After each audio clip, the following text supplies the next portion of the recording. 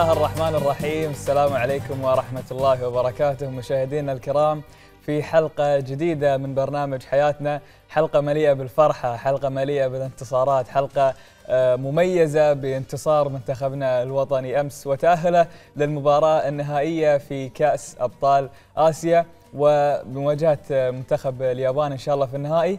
فالهم الفوز إن شاء الله. مساك الله بالخير علي. مساك الله بالخير عبد الله ومساكم الله بالخير مشاهدين مساء الانتصارات ومساء الفرح ومساء الابتسامة على وجوه كل من يسكن هذه الأرض الطيبة وعلى كل من يشجع العنابي في كل بقاع الأرض. نتمنى لهم إن شاء الله توفيق أبدعوا أمس بينوا في لعبهم في هداوتهم في تركيزهم في أخلاقهم. من هو المنتخب نعم. القطري والإدارة اللي تقف وراء هذا المنتخب؟ يعطيهم ألف عافية ومن ومنهم إن شاء الله إلى البطولة النهائية بإذن الله. بإذن الله. وأيضا يعني منتخبنا أمس حقق إنجاز تاريخي أخوي علي بتأهله للمرة الأولى في تاريخه إلى نهائي كأس آسيا. وهو الأنجاز اللي لفت الانظار طبعا أنظار الصحافة العالمية والعربية إن العنابي هو حقق هذا الإنجاز وهو يمتلك أقل معدل أعمار في مشاركات العنابي طوال تاريخه في كاس آسيا. طبعا عبد الله هذا الإنجاز وقف خلفه فريق عمل كبير لسنوات طويلة لإعداد هذا المنتخب للوصول إلى هذه المرحلة من الجهوزية. وأيضا هناك جهة تحتضن هؤلاء الأبطال وتضعهم على أول طريق تحقيق الإنجازات الرياضية. يعني كانت هذه الجهة تقوم على إعدادهم نفسيا بدنيا وذهنيا للوصول إلى هذه المكانة في كافة الألعاب. يعني هذه الجهة أنا أسميها كبيرة نعم. بفكرها نعم. بعطائها آه الله إن شاء الله يعطيهم الصحة والعافية وأكيد إن إحنا بنتواصل معهم بعد شوي لكن بنتابع تقرير الآن مشاهدينا عن هذه الجهة وهي أكاديمية اسباير ونرجع نكمل باقي حديثنا نحن فخورين جدا بمنتخب آه، قطر آه، أدى مستويات آه، جيدة جدا وهو فريق شاب نعد للمستقبل. وأيضا الشيء أيضا المفرح بأن غالبية الشباب واللاعبين المنتخب هم من خريجين أكاديمية أسباير وهي أكاديمية التفوق الرياضي. هي أكاديمية يتحدث عنها العالم. على أرض قطر يتجلى التفوق الرياضي في أكمل صوره. تعمل أكاديمية أسباير للتفوق الرياضي على تحديد وجذب المواهب الرياضية والكروية الواعدة في قطر ورفع مستوى الأداء الرياضي عن طريق التدريب عالي المستوى وتدريس علوم الرياضة. توفر الأكاديمية برامج ومنشآت رياضية ذات شهرة عالمية تعد رمزاً لطموحات قطر الرياضية. كما تؤدي الأكاديمية دورا رائدا من خلال دعم متطلبات كأس العالم 2022 بتطوير اللاعبين وإرساء مكانة الأكاديمية في المجتمع باعتبارها الوجهة التي تقصدها المواهب الرياضية. أسباير مقصد أعرق أندية العالم وهو ما يجسد النجاح الذي تحققه الأكاديمية الرياضية يوماً بعد يوم. لتثبت قطر للعالم جدارتها وقدرتها على تنشئة جيل رياضي يرفع اسم قطر عالياً وهو ما ظهر جلياً في انتصارات منتخبنا الوطني لكرة القدم المتتالية ليصعد للمرة الأولى في تاريخه إلى نهائي بطولة كأس آسيا لكرة القدم. ويقترب من حلم ينتظره عشاق الكرة القطرية.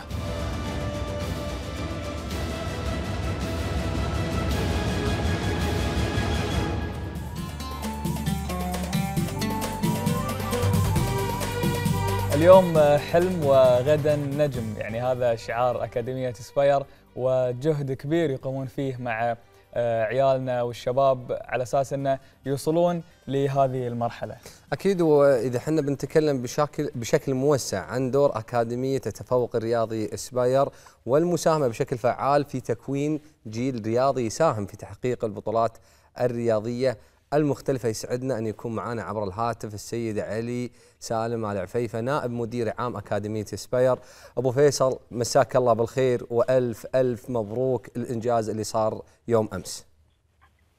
الله يبارك فيك ونمسي عليك ونمسي على الأخوان اللي معاك ونقول لكم مبروك كلكم.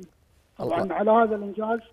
والحمد لله على كل حال نتمنى إن شاء الله أن عيالنا إن شاء الله يوصلون هذا بالاداء إن شاء الله الصراحه المفترى إن شاء الله بالكاس.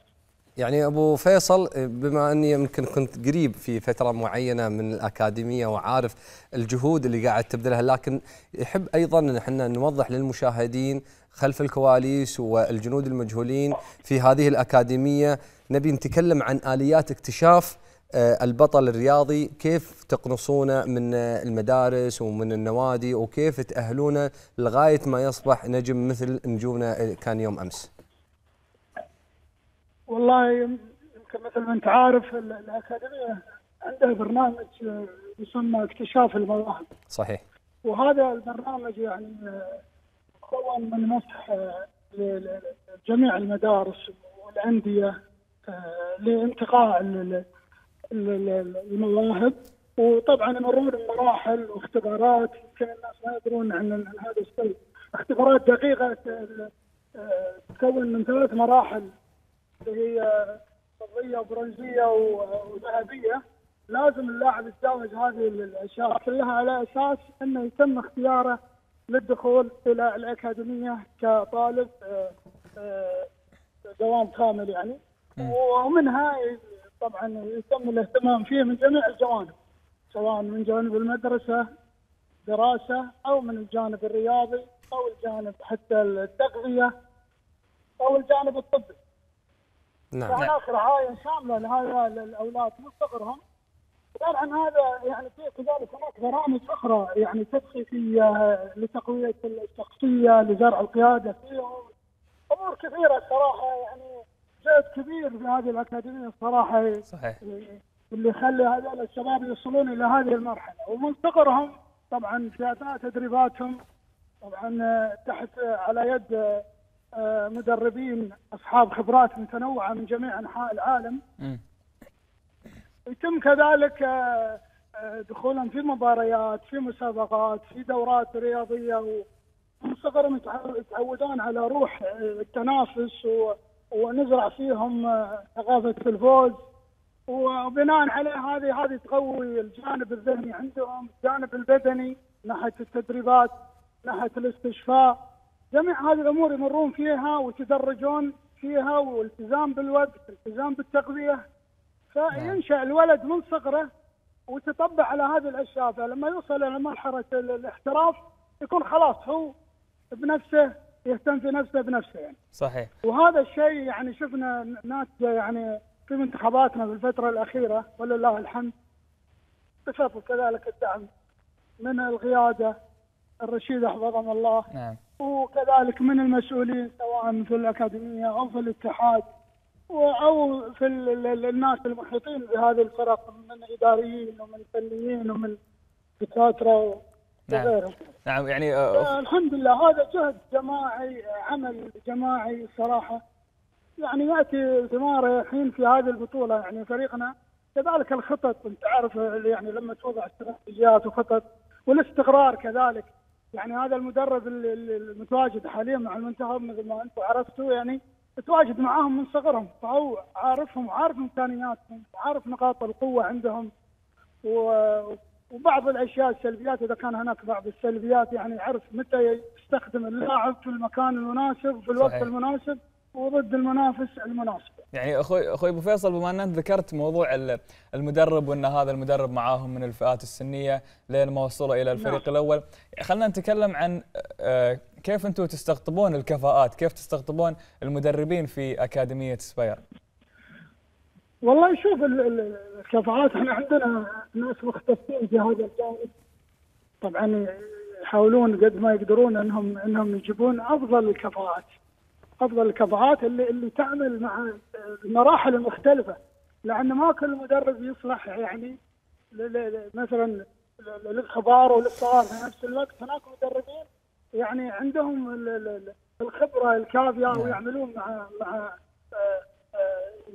مع فئات معينة ولأن تعرف كل مرحلة تحتاج إلى تركيز على جوانب معينة في التدريب فبناء عليه يتم اختيار هؤلاء المدربين وطبعا غالبا المدربين اللي عندنا ولله الحمد يعني ناس أصحاب كفاءات جبناهم من من من أندية كبيرة حتى يعني في جميع أنحاء العالم. نعم.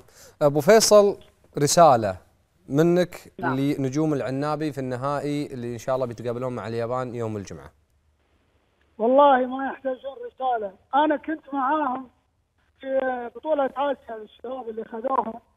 صدقني صدقني هذول الشباب. يعني حتى ساعات نجي نبي نكلمهم بنوصيهم يقولوا لا اتركونا إحنا بنقعد مع الكابتن وإحنا بنتكلم مع بعض وإن شاء الله نبيض وجيهكم وفعلا فعلا يعني هم يعني ال- الاداري اللي معاهم يكون مرتاح جدا الصراحة. وهم كذلك معاهم إداريين اكفاء الصراحة. أنا من هذا المنبر أشكرهم الصراحه نعم. وأقول لهم بيض الله وجهكم. وعلى رأسهم رئيس الاتحاد اللي تواجد خلف الفريق طوال هذه ال- ال- البطولة. وأعتقد إنه هو آه، يعني وقفته معاهم ودعمه لهم وقربه منهم هذا إضافية صراحة. احساس المسؤوليه أكبر. كذلك آه، رسالة سمو الامير الله يحفظه لهم. الصراحه كان أبلغ آه، آه، رد آه، لل- لل- للأمير صراحة انهم أمس بيضوا نعم. الوجه صراحة وتأهلوا للمباراة النهائية وبنتيجة صراحة كبيرة. نعم سيد علي سالم عفيفة نائب مدير عام أكاديمية سباير شكرا جزيلا لك وإن شاء الله بالتوفيق لمنتخبنا في النهائي يعني علي أنت ذكرت قبل شوي إن أنت كنت في فترة من الفترات في أكاديمية تفوق رياضي أنا أتكلم لك عن أخوي أنا أخوي الصغير كان في أكاديمية تفوق رياضي. من هو آه، صغير لين ما تخرج من الأكاديمية هذه وشفنا الجهد شفنا التعب اللي يتعبونه من معسكرات من آه، تجهيز لهم لين على أساس إنه يوصلون لهذه المرحلة. والفريق اللي موجود في آه، نهائي كأس آسيا يعني- بعد جهد. نعم أنا أتكلم يعني يمكن آه، في آه، لجنة اكتشاف المواهب عملهم آه، غريب جدا صعب جدا يعني تخيل أنهم يتابعون الطالب من الصف الخامس نعم. ويكتبون فيه تقارير على جميع مدارس قطر كلها كاملة بدون استثناء ويتابعونه في تقريرهم إلى الصف السادس مم. ويبدا هنا لما يختارون الشخص في مواصفات معينة في طول في شكل في حتى لياقة والذهن يبدأ يدخل اختبارات تقريبا يمكن في ثلاث مراحل صحيح. حتى يجتازها يقدر انه ينضم إلى أكاديمية سباير جهد كبير وجبار. اليوم قاعد نجني ثمارها في آه، فريقنا العنابي آه، اللي إن شاء الله بإذن الله بياخذ الكاس يوم الجمعة. الله. كل التوفيق لهم إن شاء الله. بإذن الله بإذن الله. طبعا يعني مشاهدينا الكرام في التقرير الجاي راح نتابع تفاصيل ملتقى الشراكة الإعلامية في نشر الوعي المروري للحد من الحوادث المرورية. نتابع مع بعض هذا التقرير.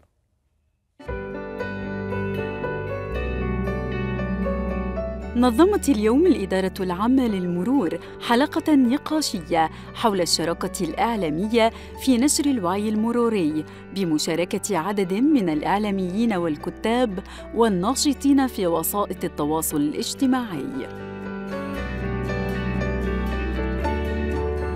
حصلنا اليوم تفاعل كبير من مشاهير التواصل الاجتماعي والكتاب والصحفيين في الملتقى اليوم الشراكة آه، الإعلامية في نشر الوعي المروري. وحصلنا تجاوب كبير مثل ما ذكرنا في نشر الوعي المروري وأخذنا جميع اقتراحاتهم و آه، المقترحات اللي قدموها جدا يعني آه، ثمينة. آه، راح تحد إن شاء الله من الحوادث المرورية. والهدف آه، هذا من هذا الملتقى هو التواصل مع الجميع لأن الحد من الحوادث هي مسؤولية الجميع وليست فقط مسؤولية الإدارة آه، العامة للمرور. وتناول المتحدثون في الحلقة دور المجتمع والمؤسسات الإعلامية في نشر الوعي المروري بين مستخدمي الطريق وأهمية التزامهم باللوائح والقوانين المرورية والآثار المترتبة على عدم اتباعها مشيرين إلى أهمية تكاتف الجهود للحد من الحوادث المرورية ومعالجة مختلف التحديات في هذا الصدد.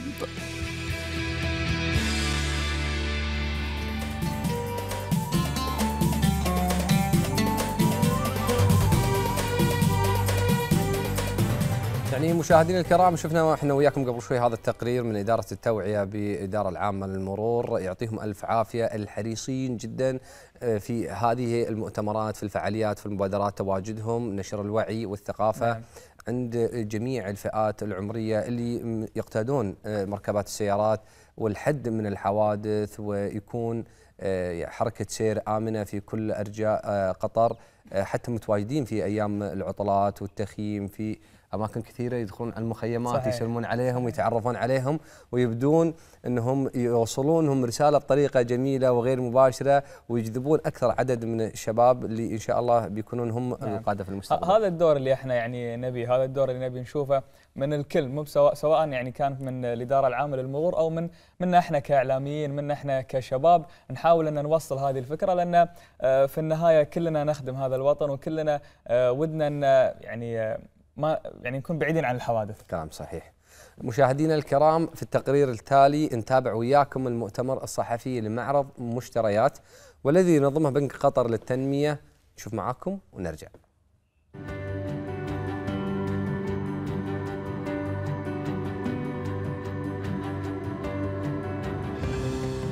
أهمية مؤتمر ومعرض مشتريات لها أهمية كبيرة في الوصول للأسواق المحلية.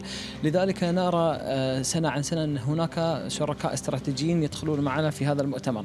آه، العام كان معنا هيئة إشغال العامة السنة هيئة إشغال العامة بالإضافة إلى وزارة التجارة والصناعة. فهو له آه، أهمية كبيرة في هذا المجال حيث أنه يساعد الشركات الموجودة توصل للفرص المحلية في آه، التعاقدات الحكومية. منذ آه، النسخة الأولى لمؤتمر مشتريات الأول حتى الآن مؤتمر مشتريات الرابع تم ترسية ما يقارب 71 مليار ريال قطري على الشركات المحلية بنسبة 67% آه، هناك دعم كبير من خلال بنك قطر للتنمية للشركات المتوسطة والصغيرة.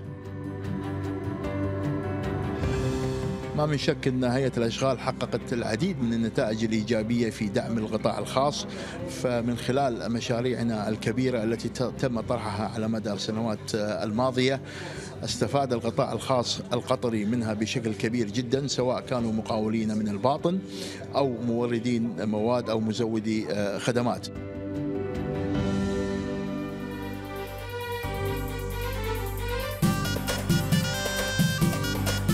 مشاهدينا الكرام حكومتنا الرشيدة لا تألو جهدا في سبيل دعم وتعزيز التعاون والشراكة بين القطاعين العام والخاص. وقد كان لمؤتمر ومعرض المشتريات والتعاقدات الحكومية مشتريات منذ نسخته الأولى وحتى الآن بالغ الأثر على تشجيع الشركات الوطنية لرفع كفاءتها وإمكانيتها. وبالفعل عبد الله ومشاهدينا مؤتمر ومعرض مشتريات يوفر العديد من الفرص التعاقدية المميزة. التي تطرحها الدولة وخاصة للشركات الصغيرة والمتوسطة والتي يمكنهم التعرف على الفرص المطروحة من في السوق وسبل التواصل إليها بما يخدم مسيرتنا نحو التنمية في شتى القطاعات. طبعا الحديث أكثر عن هذا الموضوع يسعدنا استضافة السيد محمد مبارك المنصوري مدير إدارة توطين الأعمال في بنك قطر للتنمية. مساك الله بالخير وحياك الله ويانا. مساك الله بالرضا طال عمرك يا مرحبا فيك طبعا يعني خلينا نتكلم معاك عن أبرز ملا- ملامح النسخة الرابعة في هذا المعرض. أول شيء في البداية أحب أشكر معالي الشيخ عبد الله بن ناصر بن خليفة ال ثاني آه، رئيس مجلس الوزراء وزير الداخلية آه، لرعاية المؤتمر آه، والشكر موصول لوزارة المالية كونها المنظم في هذا المؤتمر والمعرض وأيضا للرعاة الاستراتيجيين هيئة الاشغال العامه ووزارة التجارة والصناعة. آه، مؤتمر ومعرض مشتريات آه، في البداية نعم آه، هو مؤتمر سنوي مثل ما ذكرتوا.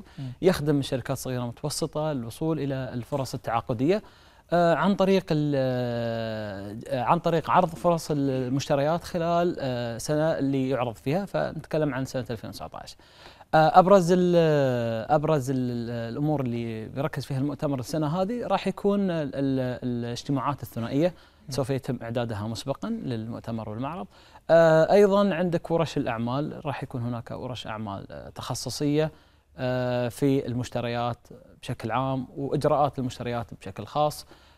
وأخيرا ال- ال- ال- ال- الورش الأعمال. وأيضا عندنا مثل ما ذكرت اللي هي الاجتماعات الثنائية. نعم. يعني في في كل نسخة يكون في فرق عن الن- النسخ الماضية. صحيح. يعني يكون في شيء مميز. شو اللي يميز هذه النسخة؟ آه، نوعية المشاركين. آه، في البداية كانوا أغلبية المشاركين جهات حكومية وشبه حكومية. آه، راح السنة هذه نركز أن يكون عندنا ال- المشترين ال- المقاولين الرئيسيين يكونوا معنا في المؤتمر والمعرض يعني نتكلم إن الفئات الجديدة اللي دخلوا عليكم السنة غير الفئات اللي كانت موجودة نعم. في النسخ السابقة. وهذا يعطي فرص أكبر التعاون بين القطاع الخاص والقطاع الحكومي. ويعطي فرص متنوعة يا من سلام. ناحية هذا ومن ناحية القيمة أيضا. طيب خلينا نتكلم عن الرسائل والأهداف التي يسعى المعرض للتأكيد عليها خاصة بعد نجاح النسخ السابقة. آه مثل ما ذكرنا في البداية أنها هي بوابة آه للوصول للسوق. آه أيضا إحنا نطمح إن, إن نفتح قنوات تعاون مع جميع الجهات المشاركة. هي مش فقط في مشتريات حتى ما بعد مشتريات يكون عندنا تعاون مع إحدى الجهات بشكل أخص أكثر. نتمنى أن نظهر ال- الشركات ال- ال- الجهات الشركات الصغيرة والمتوسطه آه، تحسين منتجها أو تحسين صورتها أمام المشترين الكبار. آه، آه، نزيد من سبل التعاون بينهم في هذا المؤتمر. يعني. أنت آه، آه، آه، تزود عندهم فرصة التسو- التسويق وتعدل مثلا إذا كان مثلا عندهم آه، خمول مثلا أو تعديل أنت ترتبها لهم أكثر وتعطيهم حافز علشان يقدرون يبيعون أو يعرضون أكثر. هي إحدى صح مثل ما ذكرت إحدى عوامل النجاح دائما يكون التلاقي بين المشتري والمورد في مراحل آه، مسبقة للمشروع يعطي فرصة إنجاز المشروع في الوقت فرصة أكبر أو نسبة أكبر. فلما ال- الجهات تتلقى مع آه، شركات صغيرة تتلاقى مع الجهات العارضة وتعرف إيش هي المشتريات اللي راح تطرح خلال هذه السنة راح تساعدهم إنه يكونون مستعدين لها. أكثر من إنه ينتظر متى تنزل التندر في الوقت الفلاني. شلون يعني حجم ال- ال- ال- المشاركة ومستوى المشاركة في هذه النسخة عن ال- النسخ الماضية؟ حجم المشاركة من ناحية المشاركين إحنا الحمد لله آه، آه، إحنا لحد الآن العام شاركوا معنا 40 جهة فنتوقع إحنا يكون عندنا حجم آه، مماثل أو أكثر يزيد عن هذا الحجم من ناحية ال- الرعاة آه، العام كان عندنا فقط راعي استراتيجي واحد وراعي آه، ذهبي واحد لكن السنة هذه أصبح عندنا رعاة استراتيجيين اثنان. وهذا بالعكس يحفز الناس إنها تكون موجودة أما من ناحية ال ال ال القيم وعدد الفرص إن شاء الله راح نعلن عنها في آه، مؤتمر صحفي قادم إن شاء الله في طلبات كثيرة من شركات إنها تدخل معاكم بهالمعرض الشركات الصغيرة الشباب المبتدئين التجار اللي خلينا نقول توهم في بداية الطريق؟ آه، مثل ما ذكرت لك راح يكون هناك اجتماعات ثنائية معدة. فإحنا عندنا فريق راح يبتدي يتواصل مع الجهات. إحنا بس إحنا نتكلم عن ملامحها. الملامح هل تشوف فيه نعم الحمد لله. تدفق من الشركات الشباب الصغار اللي توهم مبتدئين؟ الحمد لله الحمد لله. إحنا إن الهدف من وجودنا اليوم هنا, هنا إن نوصل إن المؤتمر والمعرض قائم وراح يكون عندنا تواصل مع مع السوق. لكن نعم آه، كان عندنا إقبال من الشركات ال- العارضة إنها تكون مشاركة معنا. شلون تقيمون يعني مخرجات السنوات الماضية؟ يعني من- خلال آه، تسهيل آه، التواصل بين الجهات الحكومية والشبه حكومية وخصوصا يعني الشركات المتوسطة والصغيرة؟ عادة تقاس هي آه، بعدد العقود اللي تم ترسيتها وقيمتها وكان في النسخة 2017 ما أعلنا فيه في ذاك الوقت كان لا يذكرني العدد لكن تذكرني القيمة. القيمة كانت 700 آه، مليون. أما ما أعلنا فيه العام آه، في 2000 في نسخة 2018 كان مليار و200 ما شاء الله. وهذا دليل أن الشركات أو الجهات الكبيرة تبغي ال- ال- الشركات الصغيرة المتوسطة أنها تكون من مزودين الخدمة عندها وهذا دليل أن كفاءة الشركات الصغيرة زادت عن ال- السنوات السابقة طيب تقييمكم لمثلا الشركات الكبيرة أو الهيئات الحكومية لما يكون عندها مثلا منتج قطري. بيور ها هل مثلا هم عندهم آه، القدرة إنهم يشترون منهم وإنهم يشجعونهم أو أنتم تحفزونهم وتعطونهم مميزات هذا المنتج كأول مشروع قطري وإحنا لازم نوقف معاه أو له الأولوية في قانون معين أو باتفاهم معين. هو هو دائما ال- ال- الجهات من بعد من بعد ال- الحصار الجار صار عندها توجه أكثر للمنتج المحلي وهذا أعطاهم فرصة بالعكس هذا اشوفه إحدى النعم اللي كانت علينا. آه إن الشركات الصغيرة والمتوسطه قامت تشتغل على نفسها من ناحية من ناحية تطوير منتجها من ناحية عرض المنتج للمشترين المحليين. في النهاية مثل ما قلت لك إحنا مركزين السنة انه يكون عندنا مشترين من الجهات الخاصة. والجهات الخاصة عادة آه، تنظر إلى أن مثلا زيادة عدد ربحها من أي مشروع ذاك لكن مع أيضا الجهات الخاصة الكبيرة قاعدة تس آه، تتع- مشاركة معنا عشان تبتدي تورد لمشاريعها من السوق المحلي يا سلام طيب شنو هي ال- ال- الفعاليات المصاحبة الورش الدورات اللي راح ياخذونها الناس اللي يشاركون معاكم؟ آه، ال- الورش أو الفعاليات المصاحبة راح تكون آه، مخصصة أكثر في مجال المشتريات مم.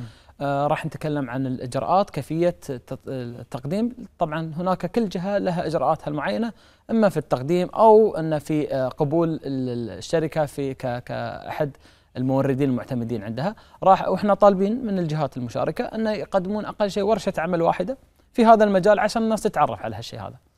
طيب أهم شيء إيه. في عشاء ولا ما أنا هذا السؤال دائما أسأله ضيوفي إذا صار ها؟ موجود شيء يعني مرتب. لا الأمور امورك طيبة. عادي. أتوقع بتروح تستانس هناك. طيب خلينا نتكلم عن الورش هذه. يعني الورش هذه لما اتكلم اللي بيحاضر علي أنا كمتلقي من مثلا بنك التنمية من الجهات الحكومية من دكاترة مختصين نبي نعرف يعني آه، ال- اللي بيحاضر فيها إحنا نلزم أو إحنا دائما نأخذ اللي في المشتريات.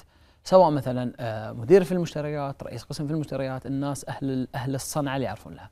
فنختار الناس هذيلا ونقول لهم يا جماعة آه، كثير من الناس عندهم أسئلة آه، بالذات إن على سبيل المثال أنت كيف إنك آه، تكتب بروبوزل أو إنك تقدم على التندر يا نفسه. سلام. يعني إيه. على سبيل المثال هذا نعم. مدير مشتريات في إحدى الوزارات أو مم. الهيئات إني أنا مثلا أنتم جبتوه علشان هو يقدم ورشة لأنه هو أصلا قاعد يجيه الطلبات. هو يجيه الطلبات وهو يشوف. اي نعم. فهو الآن قاعد يعطيهم الطريقة إنك كيف تقدم طلبك ويكون نعم. مقبول وياخذ استحسان المدير. نعم لأنك كثير ممكن بعض الشركات ما آه، لما ينزل تنزل المناقصة أو ينزل العطاء في السوق مرات آه، لها طريقة معينة في استيفاء الشروط الموجوده صحيح، فيها. صحيح.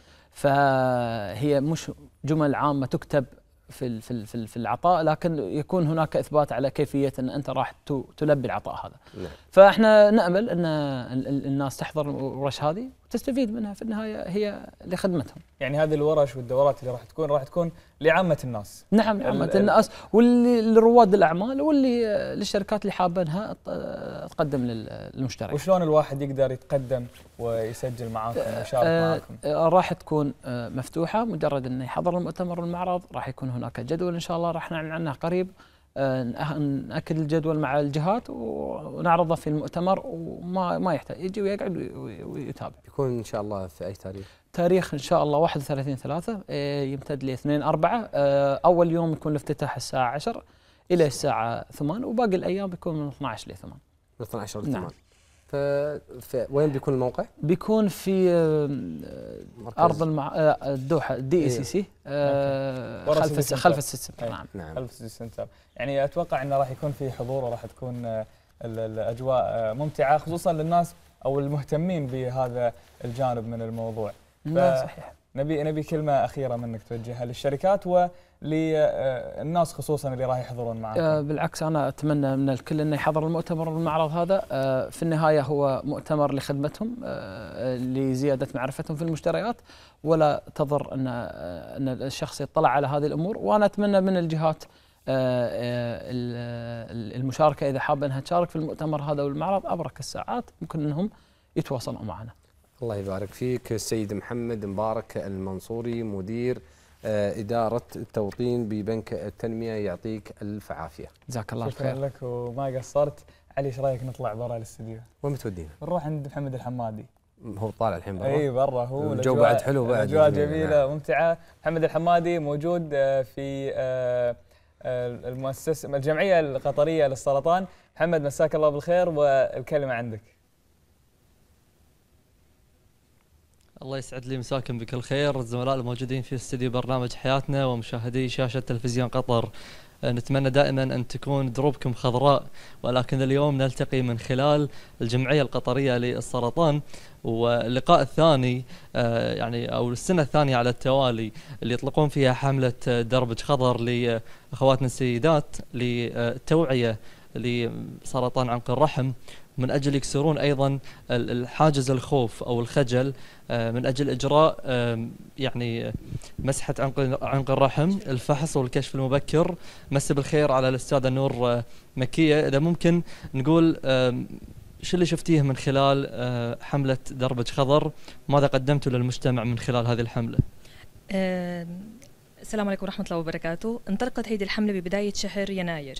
كان هدف الحملة هو التوعية بسرطان عنق الرحم ونشجع السيدات أنه ي- يروحوا ويعملوا الكشف المبكر. كان هالشي عن طريق توزيع كوبونات مجانية لعمل مسحة عنق الرحم بمشفى العمادي. والحمد لله كان في إقبال من السيدات اللي أخذوا الكوبونات وراحوا عملوا الفحص. واليوم كان الحفل الختامي اللي ضمن سحب جوائز للسيدات اللي شاركوا واللي شجعوا السيدات الثانيين على الكشف المبكر. وسرطان عنق الرحم يعتبر أيضا آه، الرابع عالميا الاكثر انتشارا آه، يعني بالنسبة لبقيه السرطانات بالنسبة للسيدات. فجانب التوعية مهم. فأنتم بدوركم كجمعية شنو قدمتوا للسيدات؟ بالنسبة للتوعية من بداية يناير نحن ابتدينا بحملات توعوية رحنا على العديد من المدارس بالإضافة للوزارات وزارة رحنا على وزارة آه، التعليم وزارة الصحة وبالإضافة لبعض الشركات الخاصة. كان هيدا الشيء بهدف توعية السيدات حول أهمية التوعية بسرطان. عنق الرحم وكمان ركزنا على ضرورة الكشف المبكر.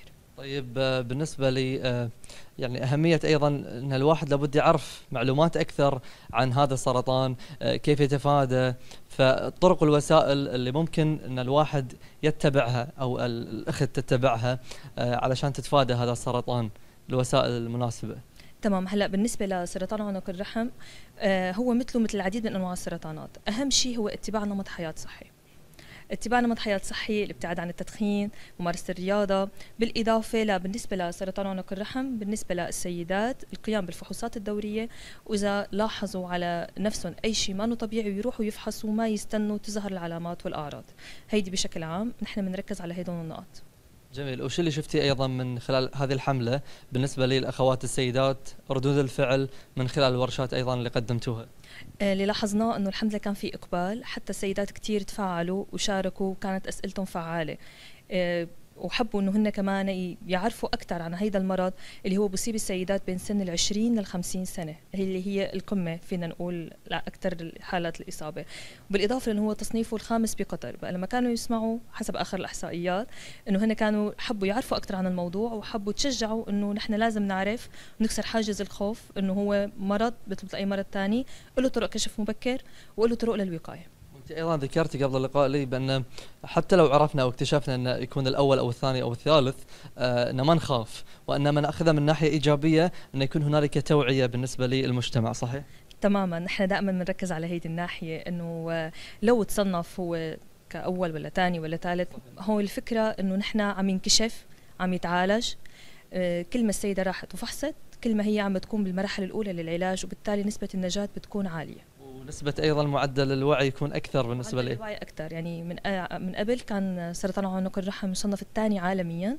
هالسنة تصنف الرابع عالميا.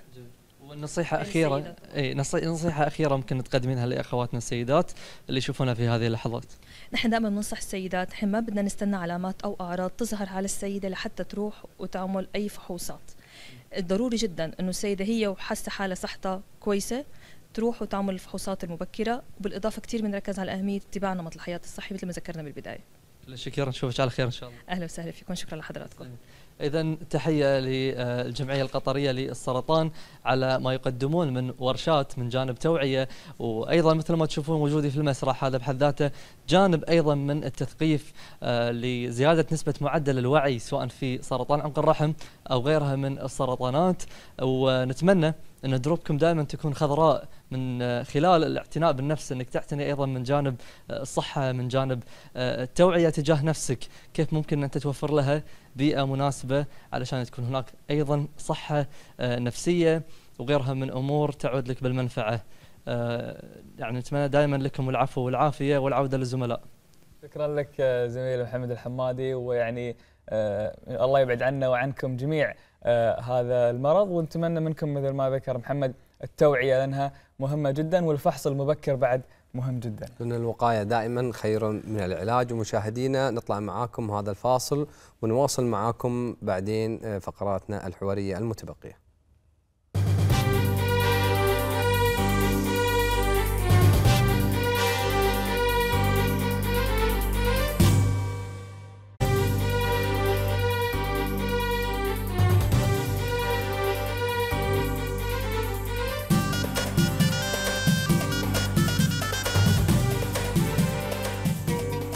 مشاهدينا الكرام طبعا في كل موسم رياضي ينظم الاتحاد الرياضي القطري للشرطة العديد من البطولات الرياضية حسب البرنامج الزمني السنوي, الزمني السنوي التنافسي لإدارات وأقسام وزارة الداخلية وبالتأكيد يكون للاتحاد حضور مميز في آه، اليوم الرياضي للدولة.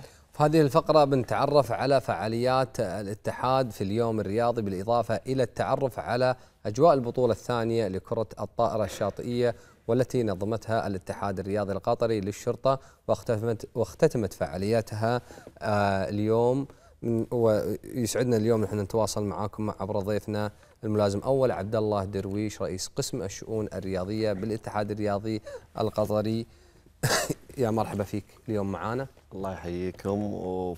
و... وأنا سعيد إني أتواجد معاكم في البرنامج آه، حياتنا. نعم. وهذا شرف لي الله يرحم والديك الله يرحم إحنا يعني آه، بنتكلم عن فعالياتكم لليوم الرياضي بس بما أن آه، اختتمتوا في البطولة اليوم خلينا نتكلم عن البطولة وشلون كانت أجواء هذه البطولة والله قبل لا نتكلم عن اليوم الرياضي وقبل لا نتكلم إيه. عن البطولة هذه أول شيء بما أن الأجواء رياضية هني إيه. خلينا نهني سيدي سمو الأمير فوز إيه. المنتخب أمس والشعب القطري وسمو الأمير الوالد الشيخ حمد بن خليفة والشيخ جاسم بن حمد ورئيس مجلس الوزراء الشيخ عبد الله بن ناصر وزير الداخلية ونهني نفسنا ونهني الشعب القطري ونهني جميع المقيمين. نعم. الله إن شاء الله يبارك إن شاء الله ويتمم علينا هالفرحه وفرصه فرصة إن أصلا إيه نطلع نعم. الهواء ونهني يعني إيه وإن شاء الله بإذن الله يوم الجمعة فانا إن شاء الله الفوز إن شاء الله لكن نرجع ونتكلم عن آآ آه، آآ آه، عن البطولة اللي صارت أول نعم. أمس وانتهت اليوم. البطولة جدا جميلة لها رغبة آه، كثير من الشباب. الأجواء أصلا جميلة خلال الأيام هذه اللي راحت. نعم. إحنا نبي نتكلم بشكل عام عن هذه البطولة. البطولة هذه من ضمن رزنامة آه، الأنشطة اللي عندنا في الاتحاد الرياضي القطري للشرطة. إحنا سنويا ننزل رزنامة ونعمم عليها وبعد ما نعمم عليها نجي حق التنظيم. فالبطوله هذه إحنا يوم الأحد قبل قبل ثلاثة أيام آه، جمعنا الفرق عندنا آه، مسؤولين الفرق واجتمعنا فيهم آه، اجتماع بخصوص القرعة واللوائح البطولة. نعم. فبدينا من يوم الاثنين دخلنا على دوري 16 أول شيء التصفيات الأولى بعدين دخلنا على دوري 16 وأمس الدور الثمانية واليوم الدور النصف النهائي والنهائي البطولة هذه كانت على شاطئ كتارة. أعتقد الأجواء كانت حلوة هناك. آه، مثل ما تفضلت أنت آه، تدري إحنا الحين شهر واحد آه، يعني ما عندك مشكلة حتى لو تلعب الساعة واحدة الظهر. امورك طيبة. الأمور طيبة. طيب خلينا نتكلم من الفرق المشاركة كلها من وزارة الداخلية ولا في أي شيء الفرق المشاركة عندنا إحنا من من تصيب وزارة الداخلية بالإضافة إلى الاخويه الاخويه وشكلتوا عندكم 16 مجموعة وبدأوا 16 فريق. 16 فريق. 19 فريق. نعم. 19 فريق لأن 19 فريق آه، من اللي من الفريق اللي فاز؟ الفريق اللي فاز الاخويه ما شاء الله الاخويه زين خلنا قويين يا أخي إيه أخويا ما شاء الله عليهم. يستاهلون. يستاهلون. خلينا نتكلم يعني عن آه، مجال تنظيم هذه البطولات المحلية. شلون التنسيق بينكم وتعاونكم مع الجهات المشاركة خصوصا يعني في آه، الاتحادات القطرية المختلفة؟ والله شوف أول شيء نشكر الاتحاد القطري لكرة الطائرة. آه، على تواجدهم معنا اليوم. والاتحادات أصلا بشكل عام الصراحه مش مقصرين معنا ومتعاونين معنا سواء اتحاد الطائرة أو الاتحادات الثانية. فتدري الأجواء الرياضية والأمور الرياضية فدائما الرياضة تجمع فيكونون سلسين معنا. حلو. طيب خلينا نتكلم يعني التعاون اللي صار بينكم بين الاتحاد القطري للكرة الشاطئية في تنظيم هذه البطولة تحديدا صارت عندهم مثلا اقتراحات شيء أضافوه جديد أنتم حبيتوا أن تكون البطولة بطريقة مميزة معينة؟ اي شوف البطولة هذه أصلا آه كل فريق آه يعني كل فريق تكون من اثنين. فبطولاتنا إحنا الداخلية سويناها كل فريق أربع لعيبة. إيه. آه لأن الاتحاد القطري متعاونين معنا ومتواجدين معنا هم أصلا. فاقترحوا علينا أن البطولة هذه تكون فيها أربع لعيبة مش اثنين. فإحنا دائما يعني يعني غيرتوا في قانون اللعبة جزءا ما لكن كان فيها استمتاع أكثر فيها استمتاع في أكثر المشاركة. أي نعم. يعني إحنا قاعدين نشوف لقطات على الشاشة أشوف لعب قوي علي. يعني في في حماس في لعب والفريق اللي فاز ما فاز عبث. أشوف اللعب جدا جميل. فخلنا نتكلم يعني عن هل اكتشفتوا مواهب من خلال هذه البطولة؟ اكتشفتوا ناس آه، عندهم آه، والله يعني شوف آه،؟ بخصوص بخصوص البطولة هذه آه، أصلا إحنا في الاتحاد القطري للشرطة عندنا فريق مشارك في الدوري العام. صح. الفريق الحمد لله متصدر الحين. صح. فالمدرب موجود. اي وحتى مدير الفريق موجود. والحكام البطولة هذه كلهم من الاتحاد القطري للش- للش- للشرطة. إيه. فعندنا آه، يعني كشافين خذيتوا عند- عندنا. كشافين عندنا كشافين ما عليك علي يمديك تلعب شوف يمديك تلعب والله شوف. أنا قبل كنت مأيس شوي من اللعبة لأن ما في إلا اثنين يعني معقولة أنا وصاحبي اللي معاي إيه. هو يرفع أنا أكبس أنا بلحق فالحين أعطوني أمل خلوهم أربعة فيمكن نطالب بتغيير القانون هذا الله. اشخاص.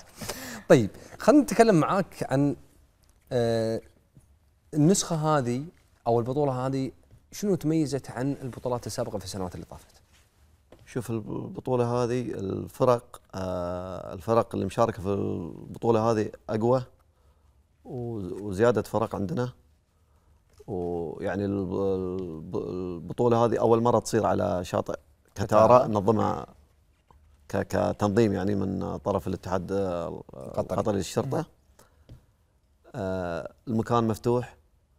يعني آه، يعني سابقاً وين كانت حتى طيب؟ الجماهير حتى الجماهير حتى الناس اللي اللي, أكثر. اللي اللي تدخل كتارة تشوفنا تصف وتطالع طيب السنوات اللي طافت وين كانت تقيمون هذه ملعب البطولة؟ الكرة الشاطئية في الغرافة هذا بعدين الغرافة، انتقلتوا إيه. فيها الآن السنة هذه الكتاره صار في أكثر جذب حق الناس والجمهور أكثر صح؟ إيه وفي ناس يعني نشوفهم يعني يتمشون وهاي جايين حق تمشاية ولا جايين حق يمارسون الرياضة هناك في كتارة يوقفون عندنا خصوصا يعني إحنا الحين في موسم آه، التخييم وموسم يعني الكل يلع- يلعب طائرة هذا الكل، الموسم إي نعم. الكل يحب الطائرة الش- الشاطئية أي نعم حتى إحنا آه، درسنا آه، الرزنامه هذه إن شلون نوزع.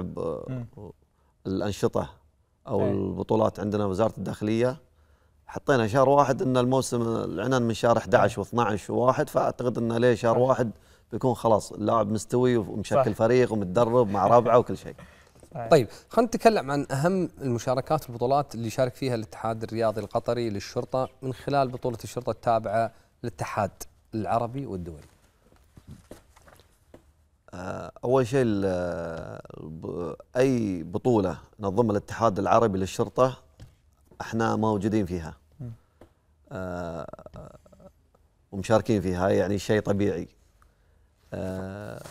في بطولة كانت آه، قبل شهر في الصين كانت دولية مش عربية صحيح. للرماية. صحيح. شاركنا فيها. وفي قبلها بطولة في آه، تونس. تقريبا شهر آه، شهر خمسة. بطولة الكاراتيه. نعم. فأي بطولة دولية أو عربية تكون للشرطة فإحنا الحمد لله. يعني, يعني- نكون حريصين للمشاركة. يعني لو أنا كنت من إحدى منتسبي آه، وزارة آه، إدارة وزارة الداخلية نعم. وعندي هذه المهارات أنتم بتأخذوني وتدربوني وتسفروني وأشارك في أحنا الله يسلمك. الله يسلمك. إحنا مثلا إذا عندنا بطولة عندنا مشاركة خارجية إحنا ننظم بطولة داخلية مهم. ونأخذ الأوائل مم. هم اللي يمثلون آه الوزارة. يعني في في يعني تصفيه لازم تكون الأول. لازم تكون في- الأول. في يعني. تصفية. لازم تشد حيلك. زين خلا يعني بما إن الحين اليوم الرياضي قريب آه، نعم. بما إنه في شهر اثنين أسبوعين آه، تقريبا. إيه، نتكلم عن تجهيزاتكم نتكلم عن استعداداتكم لهذا اليوم. شوف بخصوص آه، اليوم الرياضي إحنا السنة هذه راح ننظم في آه، 12 منطقة. أو 12 جهة عندنا راح تنظم اليوم الرياضي. عندنا في الشمال وعندنا في الجنوب وفي شرق وغرب بس ال- ال- الم- المقر الرئيسي لنا في نادي قطر إن شاء الله. وعندنا ال- ال- العنصر في آه، نادي الغرافة حلو شو. الج- شو- شو الجديد شو شو المميز راح يكون هالسنة والله شوف آه، إحنا حريصين أول شيء نطبق آه، معايير وشروط أي. وزارة الثقافة والرياضة مم. ماشيين على المعايير و... والأجواء عندنا رياضية تكون يعني من الصبح إحنا دائما خبرك لأن إحنا عساكر نبدأ الساعة صح. ستة ونص بادين صح إي، يعني حتى اللي بيكون حاضر عندنا يقدر انه عقب ما يخلص يقدر يروح يشوف الأماكن الثانية يعني تقوم بدري كأنك رايح دوامك تدخل بطولتك تخلص إيه، مباراتك وأمورك طيب إي بس أنت في في اليوم هذا يعني تخيل من تطلع من البيت تشوف العالم كله كل صحيح، كلهم. لابسين رياضة صحيح يعني يعني يعني تدخل جو جو ثاني صح. يعني عكس العيد العيد تحصل واحد لابس ثوب وكاشخ وهاي بس ال- اليوم الرياضي عندنا الكل يكون لابس رياضة الصغير والكبير.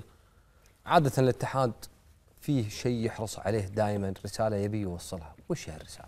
إحنا دائما نشوف كاتحاد القطري للشرطه آه عندنا رسالة لمنتسبي وزارة الداخلية.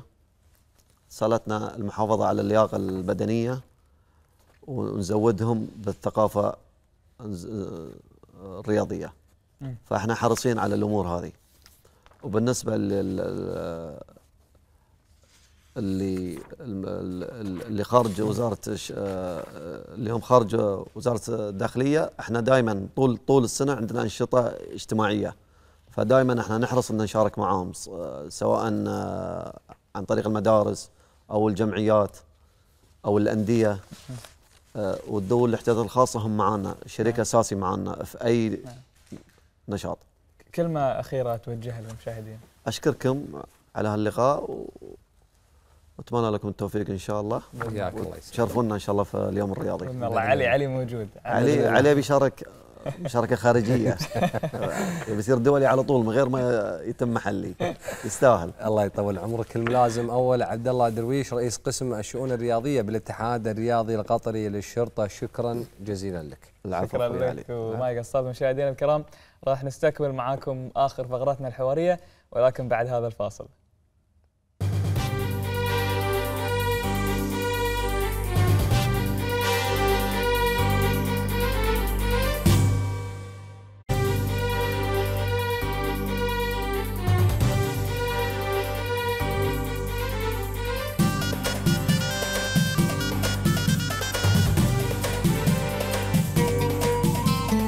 مرحبا فيكم مشاهدينا الكرام. من جديد بعد هذا الفاصل نرجع لكم. والآن الأجواء الخارجية أمطار الخير على دوحة الخير. اللهم سقيا رحمة يا رب العالمين. وهذا أمس فرحة واليوم نعم. أمطار. يعني شيء جميل جدا عبد الله. إحنا مستمتعين صراحة. إحنا داخل الاستديو ولكن الأجواء الخارجية ممتعة وأمطار في الريان وفي آه، عدة مناطق. وأيضا يعني آه، من خلال آه، إن نهاية الأسبوع راح تكون في فرص أمطار خفيفة. تتحسن لين يوم ال- الأحد في معظم المناطق وممكن إنها تكون آه، آه، رعدية. أمطار إن شاء الله أمطار الخير إن شاء الله. بإذن الله يعني بكرة في نهاية الأسبوع فرصة جميلة جدا لكل العوائل وأولياء الأمور يأخذون أولادهم يتمشون في هذه الأجواء الجميلة يشوفون الأمطار ويعني يكون فيها تغيير صح. من الروتين. صح حتى إن شاء الله يبتدون في أسبوع وراح جديد يعني مثل. ما يقولون آه، الخميس الونيس إن شاء الله إن شاء الله نستمتع. في آه، يوم الخميس ومشاهدينا الكرام يعني كعادتهم أو مشاهدينا الكرام نطلع تقرير إيش رأيك؟ شنو بيتكلم عن التقرير؟ تقرير عن عمان تحب عمان؟ أكيد الله في حد ما يحب عمان عمان يعني ما قصر ويانا نشوف مبادرة يدا واحدة نشوف هذا التقرير ونرجع نتكلم عنه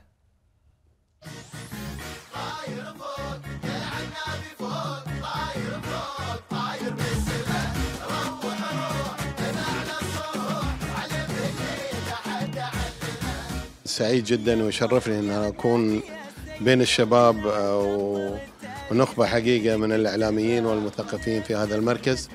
وأشكرهم على الدعوة آه، إني أنا أحضر المباراة معاهم. ونقول ألف مبروك ألف ألف مبروك لمنتخبنا. وحيوا فريقي اللي حضر اسمه ولونه من قطر. مبروك يا هالقطر. آه، كسبتوا منتخب يرفع الراس. كل هذا تكريم لكل الأجيال التي قدمت وقدمت الكرة القطرية. هذا المنتخب آه، ثمار آه، ما زرعت ما زرع خلال هذه السنوات. آه، ألف مبروك تستاهلون كل خير وإن شاء الله الكاس راجع الدوحة. المنتخب أسعدونا الله يسعدهم. وعندنا ال- ال- البطولة كلها بكف وهالمباراة هذه الفوز فيها تعني لنا شيء آخر. أقول كفو يا دولة المجد كفو لرجالك الوافين كفو يا شيخ مجاسم يا مؤسس دولة الأمجاد. هنا التاريخ يوقف يا قطر حشمه لك وتبقين. على رؤوس الجبال الشامخة أعظم من أي بلاد. أعتقد إحنا مفخورين في هذا الفريق. فخر كبير بالنسبة لهم ما يقدم يقدم المنتخب حد الآن وصوله إلى إلى إلى نقطة ما وصلها من قبل. في شوط أيضا متقدم فيه إلى إلى إن شاء الله الوصول للمباراه النهائيه فأعتقد إن كل الأجواء المثالية تصفي من مصلحة منتخبنا. اللهم لك الحمد. بداية حلوة شوط حلو آه، شباب ما قصروا. آه، لعبوا الكرة اللي نعرفها ونعرف الفريق. صراحة أول مرة أجي هنا بس ما شاء الله أجواء. أنا أنا مش قادر أتحمل صراحة. إن أنا مضغوط مش قادر أتحمل. فماسك نفسي شوي. بس الحمد لله إن شاء الله الأجواء حلوة. والله الاداء ما شاء الله عليهم. هم من بداية البطولة في تصاعد. يعني ما شاء الله عليهم. ثابتين وجودهم وبقوة إن شاء الله.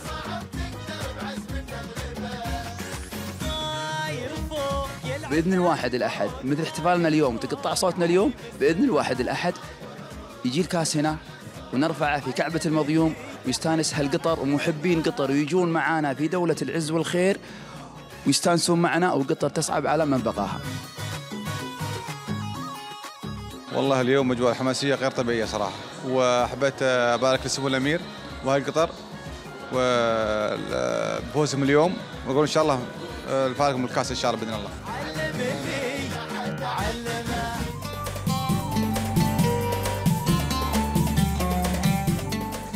مشاهدينا الكرام كعادتهم أهل عمان. أهل الكرم والطيب أهل الفزعة والمساندة لأشقائهم في كل مكان. كان لهم دور مميز في دعم منتخبنا العنابي في بطولة كأس آسيا في ملاعب البطولة بل وذهبوا لما هو أبعد من ذلك بتشجيع العنابي هنا في قطر من خلال مبادرة مميزة تحت اسم يدا واحدة. نعم أخوي علي حيث احتضن المركز الإعلامي الشبابي التابع لوزارة الثقافة والرياضة تدشين المبادرة العمانية يدا واحدة بمقر المركز لمشاهدة مباريات منتخبنا الوطني اللي أطلقها الناشط الاجتماعي العماني أحمد باتو المقيم في دولة قطر مع مجموعة من الشباب العمانيين بهدف توطيد أواصر التقارب والدعم والمساندة بين الشعبين الشقيقين.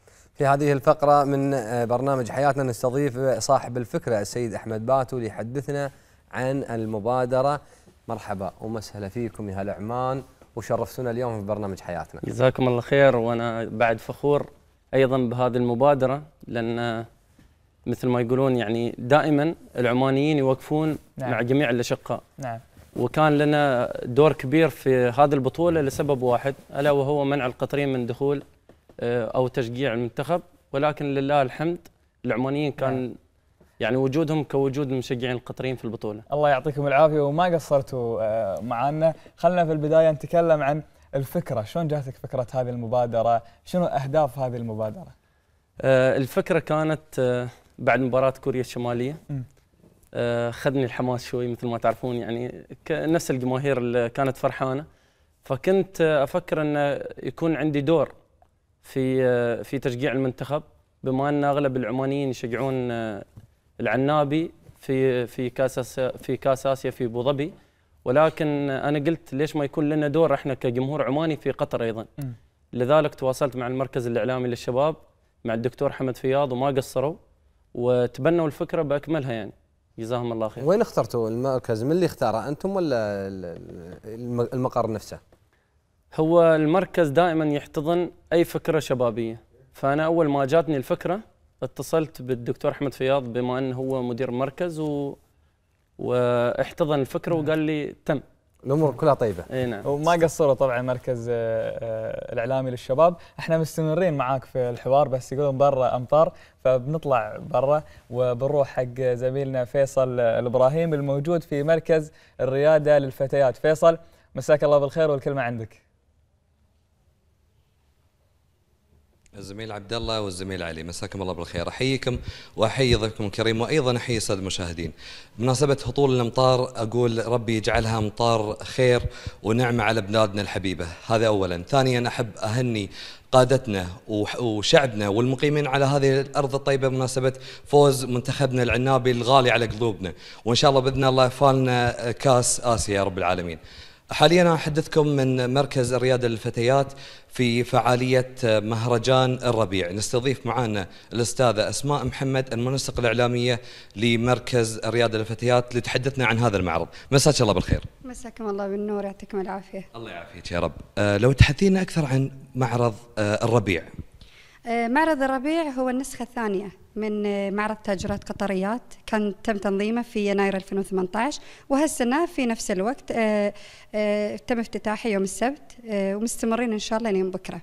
إن شاء الله بإذن الله. بالنسبة لعدد التاجرات المشاركين في هذا المعرض. الحمد لله المعرض استقبل أكثر من 38 آه، مشاركة ومشروع مختلف. وهذه المشاريع كلها اللي هي مثل نقول عنها مشاريع منزلية أو أصحاب آه، آه، محلات. معظمها مشاريع منزلية تقدر تقول وأشغال يدوية وبعضها مشاريع صغيرة لهم محلات. إن شاء الله. الفرق فرق التنظيم السنة عن هذه السنة. أكيد كتجربة أولى السنة ال- الماضية كان آه، يعني آه، له تحديات وله آه، تخطيط أكثر. والحمد لله إحنا قدرنا أن نستفيد من تجربتنا في السنة اللي طافت ون ونتعدى بعض التحديات وال, وال تقدر تقول المشاكل هالسنة. نتمنى لكم التوفيق إن شاء الله. الخطط المستقبلية أو المشاريع أو الأنشطة اللي جاية راح تكون. أكيد آه، بالإضافة إلى هذا المعرض اللي سلطنا فيه على ريادة الأعمال ودعم آه، التاجرات آه، راح يكون في برامج ومعسكرات تستهدف فئة البراعم وفئة الأمهات وطبعا راح يكون عندنا برنامج متزامن باليوم الرياضي. فإن شاء الله إحنا قاعدين ندعم جميع الفئات. إن شاء الله. نتمنى لكم كل التوفيق يا رب العالمين. استاذه أسماء محمد المنسقه الإعلامية من مركز رياده الفتيات شكرا جزيلا لك. شكرت لكم يعطيكم العافية على تسليط الضوء على مركزنا. الله يعافيك يا رب. أعزائي المشاهدين وصلنا لنهاية فقرتنا اليوم. نرجع للزملاء الاستوديو. شكرا لك زميلنا فيصل إبراهيم ولضيفتك آه، الكريمة. نستكمل حوارنا مع آه، أخونا أحمد باتو. أخوي أحمد شلون كان الحضور بما إنه يعني أمس كانت المباراة النهائية نبي نعرف المباراة الأولى شلون كان الحضور والمباراة آه، النهائية شلون صار الحضور أول شيء أنا فخور جدا بأن أكون إن أنا مؤسس هذه المبادرة اللي هي جمعت أكبر عدد عمانيين مع قطريين مع مقيمين في هذا البلد الطيب. آه، الحضور كان جدا كبير لدرجة أن المركز عمل ثلاث أماكن لمشاهدة المباراة. ما شاء الله. فكان ازدحام شديد ما أوصف لكم إياه. وبعد انتهاء المبادرة في يومها آه، قرر المركز إنه يرسل دعوات لكل الضيوف على كل مباراة يلعبها المنتخب العنابي. يعني كانت بدايتها كانت مباراة قطر مع من؟ مع كوريا الجنوبية. ومن بعدها تواصلتوا. وخلاص إن شاء الله للنهائي وتاخذون البطولة بإذن الله ونحتفل. ويا بعض. بإذن الله بإذن الله. طيب خلينا نتكلم عن أجواءكم وأنتم قاعدين الحماس والانفعال و... يعني خلينا نتكلم عن الشعور هذا. شايف المعز لما يسجل جول؟ أنا أتوقع ال- الجمهور اللي كان موجود يحتفل أكثر من المعز. يعني ما شاء الله احتفال هستيري. إيه. يعني يعني هذا الكلام اللي أنت قاعد تقوله مثل ما نشوف يعني على الشاشه هذه اللقطات ونشوف آه، الحماس هذا مش بس كان في مركز الإعلام للشباب كان في كل مجالس هالقطر أمس نعم، كان في نعم. كل آه، آه، الأماكن اللي قاعدين يتابعون فيها المباريات الأماكن اللي خصصوها يعني مثل ما شفنا سوق واقف مثل ما شفنا آه، آه، الأماكن الثانية الكل كان مستانس أمس الكل كان فرحان آه، الحضور اللي كان عندكم في ال- ال- المبادرة أو المباريات هل اقتصر على مشاهير ال social media ولا كان مفتوح للكل؟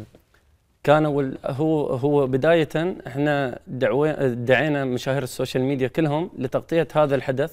لأن كنا متأكدين تماما إن الجمهور العماني راح يجي بعدد كبير. فالحمد لله جو ال- الجمهور العماني والقطري والمقيمين ما شاء الله. يعني ما أحكي لكم يعني الصراحه الشعور اللي حسيت فيه هذاك اليوم شعور لا يوصف. لما شفت كلنا كذا مع بعض ويعني شيء ما ما أقدر أوصفه أمانة يعني. طبعا يمكن في سؤال شوي يكون خارج. الحلوى العمانية كانت متواجدة في طبعا. يوم المباراة يوم المباراة ولله الحمد. آه هذه معلومة ممكن أقول لكم إياها وحصري لكم. آه في في رابطة في عمان آه، تشجع المنتخب القطري أنا تقريبا بشكل آه كل ثلاث أيام أنا أروح ال- أرسل لهم أغراض اللي هي أعلام قطر وكذا. يعني مثل ما تقول نعم. نتعاون معاهم. هم خدموني أيضا. أن جابوا لنا الحلوى العمانية في يوم ال- يا سلام. المبادرة. وكان في أخ من عمان آه، متواجد مقيم في قطر. آه، كان هو اللي جاب الحلوى ومثل ما تقول كان المسؤول عن كل هاي الأشياء. واستانسوا يعني عجبتهم الحلوى لأنه جاي فريش من عمان. أتمنى إنك ت- يعني تخليني أتواصل معاهم على أساس ارسل لهم هم يرسلون تستاهل حلوى. أهم شيء. لا تحضر معاهم المباراة النهائية. وتاكل الحلوى ما في. جدال أنا إذا حضرت باكل. ما في لكن أنا أبي شيء خاص أنت لك. حلوة سبيشل تسلم تسلم تستاهل زين خلينا آه، نتكلم عن المبادرة وطريقة توجيه الدعوات وأيضا آه، دور المركز الإعلامي للشباب في دعم هذه المبادرة المركز الإعلامي للشباب أمانة آه، أنا يعني اقدم لهم شكر كبير لأن هم قاموا تقريبا ب 90% من الجهد ال- المبادرة هم ت- يعني هم عندهم ما شاء الله فريق متكامل علاقات عامة وك- وكل الفريق يعني ما قصر. خلال يوم ونص أنا تفاجأت إن المركز الإعلامي كان جاهز جاهزية تامة للمباراة. يعني ما تتخيلون يمكن ما ناموا طول الليل وهم يشتغلون وجابوا بوسترات وشيء فظيع أمانة. طيب الآن يعني سويتوا دعوات. ما جاكم آه، تشتيت في من تدعون من تخلون من اللي بيلبي من اللي ما راح يلبي المكان اللي بيكفي ما راح يكفي. يعني هذا ما أشغلكم شوي وكيف نسقتوا الأسماء اللي أنتم رتبتوها المركز الاعلامي للشباب هم أصلا عندهم لستة أوه جاهزين. جاهزين. ولكن موضوع قبول الدعوة في هذه المبادرة تحديدا الكل راح يوافق عليها لأن صحيح. صحيح. الكل قلب على المنتخب والكل سعيد إنه. بيتقابل مع الجمهور العماني ولله صحيح. الحمد لقينا إقبال كبير صح يعني الجمهور العماني كان من أوائل الجماهير اللي دعموا المنتخب القطري خصوصا في أرض الملعب خصوصا نعم. إن يعني الجمهور القطري ما يقدر يحضر والجمهور العماني أيضا كانت في بعض ال ال الأمور اللي ما خلتهم يحضرون ولكن احضروا هذه المباراة واحضروا ودعموا المنتخب القطري شلون تصف هذا التلاحم تصف هذا ال- ال- التعاضد بين الشعب العماني والشعب القطري؟ لله الحمد آه، هو أصلا إحنا كشعب عماني معروفين بالطيب. نعم. والشعب العماني دائما يكون آه، حريص على انه يشجع أي منتخب آه، خليجي. وإحنا دورنا في كعمانيين أن نكون نساهم في ترابط ال- الشعب الخليجي. فاول ما شافوا إن في مشكلة مع المنتخب القطري في في البطولة العمانيين ما أقول لك كلهم يمكن يعني ما في بيت ما شجع منتخب قطر صحيح. أمانة يعني صحيح. أمس لو شفت القاعات اللي في عمان كأنك في قطر كأنك سوق واقف أنا أمس آه، قبل المباراة بيوم رايح مودي 600 علم 600 علم الله. عنابي إلى عمان تخيل يعني انت كم تتخيل هذه القاعة اللي تاخذها الإعداد؟ كأنك في قطر. شعور جميل جدا. أقدر أطلب منك طلب على الهواء مباشرة؟ أطلب. تعطيني العلم. تستاهل. تستاهل. تستاهل تستاهل. بارك الله وحنا نقول شوميله تفضل. تستاهل يعني. أنا بكل شرف يعني ان أحط علم سلطنة عمان على رأسي. تحية وتقدير إلى جزاك أخواننا الله في خير. سلطنة عمان جزاك الله خير. شكر آه، موصول أمانة ما راح نقدر نوفيهم لا بكلماتنا ولا راح نقدر حتى بنقدم لهم الأفعال ما وقفوه معانا آه، من كلمات طيبة من مشاعر جميلة من حضورهم تكبدهم عناء السفر وغير أمور كثيرة إحنا يمكن. آه، شفناها وعلمنا فيها كل الشكر آه، لسلطنة عمان حكومة وشعبا كل الشكر المقيمين في كل مكان في داخل دولة قطر مؤازرتهم لمنتخب الع- العنابي شعورهم وقفتهم حماسهم نعم. كأن الفوز لهم هو فعلا لهم. آه، أنا صراحة شعوري أحس أني شوي بديت أخربط لكن أنا ب- بقدم لك مشروع مثلا. إيش رأيك إن إحنا نسوي معاك رابطة مشجعين قطر وعمان؟ ونسوي حتى لها بعض الكلمات الخاصة بعض الأغاني الخاصة إن شاء الله تبشر ها أتمنى وندخل فيها كاس إن شاء الله 2022 بإذن منتخب. واحد. بإذن الله بإذن الله حتى لو كان منتخب واحد أو منتخبين يبقى أن في تلاحم في هذه الرابطة إي نعم. كلمات آه، مزيج من سلطنة عمان ومن قطر إي يتم نعم. ألحانها يتم آه، آه، توزيعها نعم. بين البلدين وبين مشاركة الكتاب والفنانين نعم أنا صراحة في صدد أني أسس آه، رابطة تشجيع عمانية في قطر. وراح تكون آه، يعني آه، مو تحديدا لكرة القدم فقط أي آه، مناسبة لدولة قطر راح يتواجد فيها العمانيين راح أسس بإذن الله رابطة ونشجعهم بإذن الله وأنا فخور جدا آه، والله يعني أنا أنا اللي فخور إني شليت. العلم العماني زين أخوي أحمد بما أن النهائي يوم الجمعة وراح يكون الساعة 5 النهائي يعني نقول حق المشاهدين إن النهائي راح يكون الساعة 5 آه، شنو تحضيراتكم للنهائي؟ هل في شيء جديد؟ في مفاجآت راح تكون اللي راح يحضرون معاكم؟ أنا لو قلت المفاجآت راح أحرق كل شيء ولكن أنا أتمنى وجودكم كلكم وبإذن الله هو المنتخب في حالة فاز أو خسر. إحنا نقول دائما إن هذا أكبر تشريف وجودك في النهائي. صحيح. و... ومثل ما قدرت على باقي المنتخبات راح تفوز على اليابان.